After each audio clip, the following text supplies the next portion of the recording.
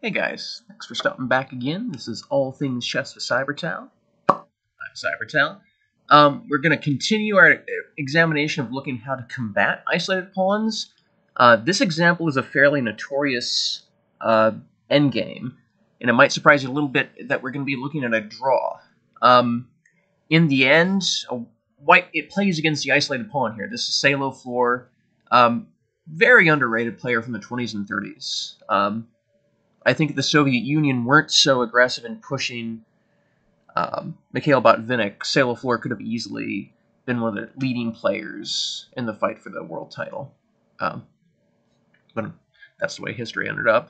And of course, black is uh, Capablanca, who's uh, one of the first world champions who beat Lasker for the title in 1921. Of course, he's a legendary figure in chess legendary for his positional play and legendary for his endgame technique. So in this particular game, we see uh, White getting more or less exactly what you wants again against an isolated pawn. He stamps down Black's activity, he trades off some pieces, he gets to an endgame against the isolated pawn.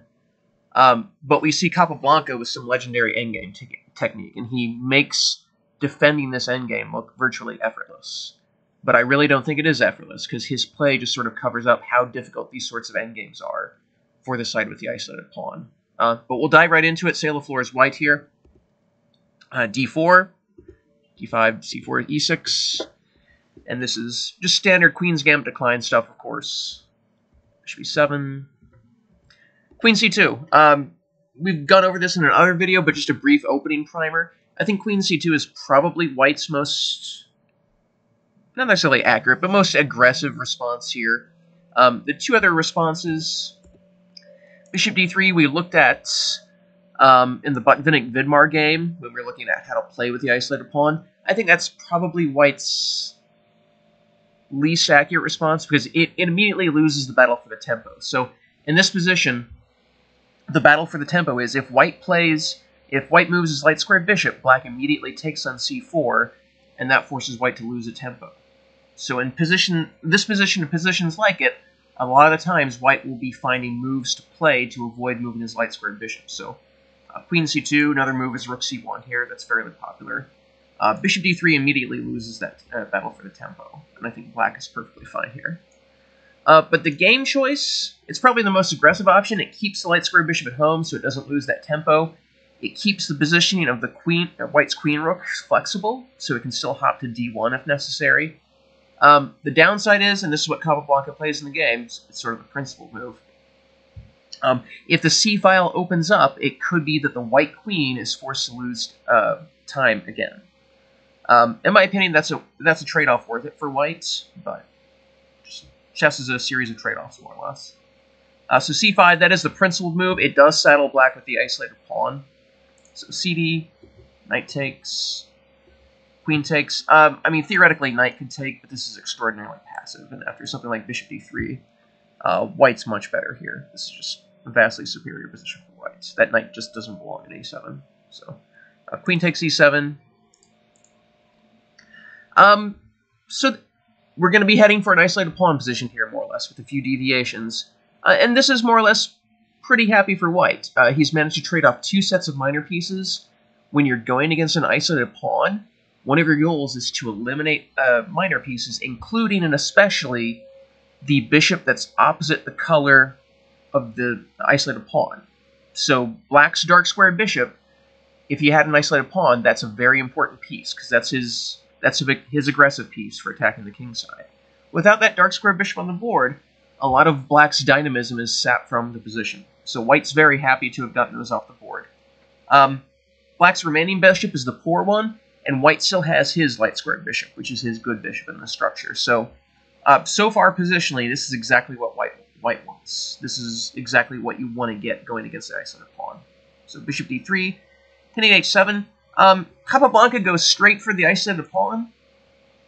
I'm not sure that's the best choice, but he he was very confident in his uh, endgame technique, apparently, which he's Capablanca, so he certainly should be. Um, two different options here. One has absolutely no theory on it, and it's just something that I saw Stockfish 13 looking at, uh, which computers are hilarious because they're 3200 rated. Um, H6 is sort of the the human move, and it sort of keeps the tension. Uh, just a quick line. You see 96, and this is standard for an isolated pawn. White establishes his knight on the d4 square, and the knight hops to e6 to immediately challenge it. Um, this is nominally better for whites, uh, but it certainly is still a little bit better for whites. Uh, but this is just a standard normal isolated queen pawn uh, battle. This is how you try to neutralize uh, the attack against the isolated pawn by getting rid of that strong knight on d4. The other option, c4. Um, yeah, that is a heck of a move. Um, download Stockfish 13 and let it run for a few minutes. Uh, the main line that it gives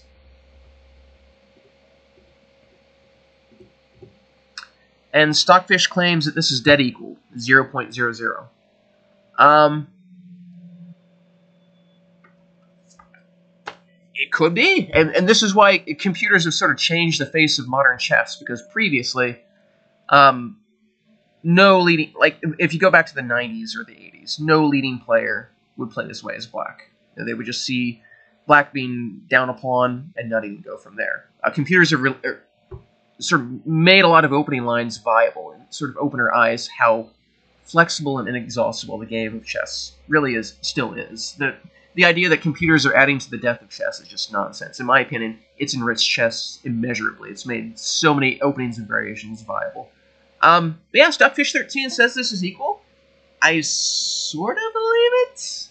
Uh, the bishop on f5 is a very strong piece. It's certainly better than the knight on f3.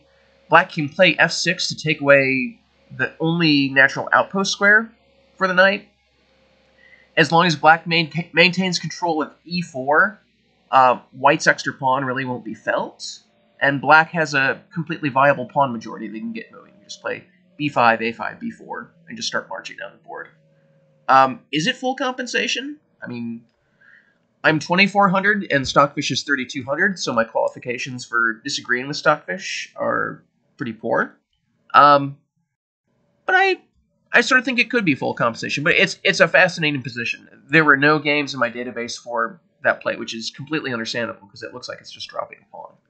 Um, but interesting line. Just an aside. Uh, Capablanca takes on d4. Knight takes queen b4. Knight c5. This is sort of a nice little trick. It saves a move by getting the knight to e6 a little bit sooner, or eliminating white's uh, light square bishop. Bishop b5. Uh, of course, taking on b4 is uh, sadness for white. Uh, so bishop b5. And black just goes straight for the ending. So um, there are very few uh, variations in this game, just because it's straightforward positional play. Uh, but let's evaluate this position. So white has more or less everything you dream of going against an isolated pawn. So we've got the queens off the board. We've got two sets of minor pieces off the board. Uh, white has an edge in mobilization. You know, all of black's pieces are still home. Uh, white has one, two, and don't forget the king.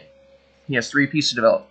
In an endgame, never forget your king. If you take one thing from this video, you should take a lot more, of course, but uh, always keep your king active in endgames. Once the queens and some minor pieces are off, that's your cue to get your uh, king into the thick bits.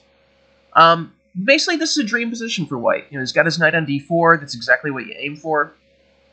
Uh, black's remaining bishop is his bad bishop, and white can mobilize is on the c file. So the fact that Capablanca ended up drawing this without really any clear errors from Flohr, um, for practical play, shouldn't take away from white's position here. If you get this position in your games, you're going to win a bunch of games from this position, just practically. Um, if you're playing Capablanca, you won't win, but you're not going to be playing Capablanca. This is exactly what you want to get going against an isolated pawn. So this is a dream position, but it takes filigree perfect defensive technique to make it look like an easy draw, which it is not an easy draw. Uh, bishop e6, challenge for the c file. Uh, rook c2, if there's one move I disagree with, it would be this one. Um, f3 seems a little bit more productive. Basically, this is the principle of two weaknesses. If anyone has never read Mark Dvoretsky, which is essential reading if you want to improve at chess. Uh, the principle of two weaknesses is that one weakness isn't enough to win a game. So the weakness on d5 isn't enough. White wants to expand on the king side and force another weakness into being, um, and try to stretch uh, black's defensive trenches beyond their limits. Um, so f3 prepares moves like g4, h4, just getting the king side pawns moving down the board. Uh, in these sorts of positions where white can squeeze without any penalty, grab space where you can. Um, so that that would be my one quibble with the game. Knight takes, king f8, king d2. And again, there's precious few variations here, just because this is very uh, open-ended play. White, um, I won't. This would be another move that I sort of disagree with. I don't think White should be trading his rooks off. I think f3. Again, you want to expand on the king side. I would leave that rook where it is, uh, just to help potentially support a kingside pawn push from black. Um, that would be there would be two moves that I quibble with, and they're each uh, rook trades. Um, generally, going against the isolated pawn, you also want to keep major pieces on the board, so I would at least keep this one rook on the board, if not having kept both of them on the board earlier. Um, but Flohr chooses to trade straight off, which I think is an error eventually, because we see that the minor piece end does end up drawn. King d6, king c3, b6. This is a star move. Um, this displays how much of an endgame genius Capablanca was. Um, when you have a bishop in an endgame, you want to try to uh, generally place your uh, pawns on the opposite color of your bishop, because it controls squares that your bishop can't. So he's going to try to put his pawns on dark squares. Um, he also wants to cover the penetration squares. So eventually the white king will end up on d4, so black wants to cover c5 and e5. So he's going to very naturally arrange his pawns to cover those two penetration squares. So b6, just a star move from Capablanca. f4, exactly what you want to do. You want to get your kingside pawn pawns moving. Um, maybe f3 was potentially a better way to do it because as it ends up in the game, um, the uh, white kingside pawns end up a little bit inflexible. Um, so maybe f3 was a little bit better to prepare g4 first. Uh, but f4, bishop d7, covering the b5 square to prepare other moves. Knight f3, f6. So this is exactly continuing the plan that Capablanca had. Uh, covers the penetration square in e5, also in g5, so the knight can't hop in and massage the kingside squares. Uh, king d4, a5. Capablanca is making the, uh, this look easy. Your opponents will not play this well. Practically, the position that White got for this ending is a great position. You'll win your share of them. But if you're playing against Capablanca, this is a sort of endgame technique that he had. He's just making it look easy. He's putting his pawns on dark squares to control the squares that his bishop can't, and his bishop controls the other penetration squares around d5. So, genius play from Capablanca. Knight d2. We'll just go through these. This is sort of straightforward maneuvering. King c6 covers b5. H6 continues putting his uh, pawns on dark squares. h5, I remember the uh, books that I looked at as a kid uh, saying this was a dire error. Um, when you look at it with the engines, it really isn't.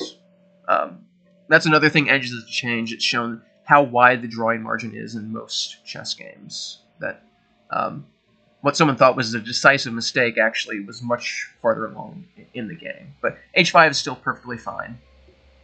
b4, king d6, b5, trying to mobilize the b6 uh, uh, pawn as a target. g6, trying to keep the squares on the king side sort of clogged up. Repeating moves. f5. So this is a this is an excellent practical try. Um, this is still well within the drawing margin for black. Um, but this is a great try from white, just practically. This isn't really a pawn sacrifice, because after GF, black's extra pawn um, is doubled and isolated, so this really doesn't win material for black, but it's an excellent try from white to try to break through. Uh, this is exactly what you want to do with the knight. The squares like f4 are exactly what you want to aim for for your knight. It's an untouchable outpost square, hitting both those weak pawns, but Capablanca has everything well in hand. Bishop d7, Bishop e8 just in time to hold the e8, h5 pawn. And now he takes on b5 when it's safe. So even in this position with reduced material, there's still quite a bit of pressure here for white. Uh, just Capablanca does an amazing job of covering everything up. So bishop c6, knight c4, and bishop e5. So this is superb uh, technique. I, I, will include the game in my notes as usual. Um, look at each point in this last sequence, how Capablanca uses his bishop to corral the white knight. The white knight is ultimately aiming for f4. At every point, Capablanca accurately uses his bishop to cover up um, the squares that white could use to get to f4. This is just superb technique. So knight e1, bishop e2. So attacking the knight, forcing it to choose where it'll go, and then on knight f2, bishop f1, covering both d3 and h3. So now the white knight can't get to f4. Uh, Flohr just decides to give up. King d5, king e5. And they agree to a draw here. Really the critical uh, point here is that black needs to play that. Because on that, he wants to be able to play king e5. Um, that's really the only critical parts. Uh, this is just a dead draw. Um, so yeah, let the, don't let this draw discourage you. Um, if you get this sort of position as white against an isolated pawn, you're going to win more than your share. This is a dream position for white. Um, I think Flohr did a couple of things maybe suboptimally. I think he traded his rooks too easily. Uh, generally, when you're fighting the isolated pawn, you want to keep as many rooks on the board as possible, uh, so you can just put them on the d file and sort of bombard the pawn. But even beyond that, it took filigree perfect defensive technique from Capablanca. You know, there's the b6 move, the f6 move, a5, covering all those dark squares. It took perfect technique from Capablanca to hold this position. Um, if it takes perfect technique to hold the position, that means White's position was pretty darn good to begin with. Um, so it was chess in general is within the drawing margin, but if you can get a comfortable positional a position with some positional advantages to squeeze, you're going to win more than your share. So um, I'll include in the notes. Take a look at the position the White got. It is a very comfortable endgame position. It's exactly what, what you want to go for when you're fighting against an isolated pawn. So uh, quick video today. This is just sort of a classic endgame that you need to have on board. Uh, whether or not you play with an isolated pawn, it's just a classic performance from Capablanca. Um, next video tomorrow, we'll be examining uh, someone actually beating the isolated pawn with more direct methods of taking advantage of that weakness. So, uh, my name is John. I'll see you later.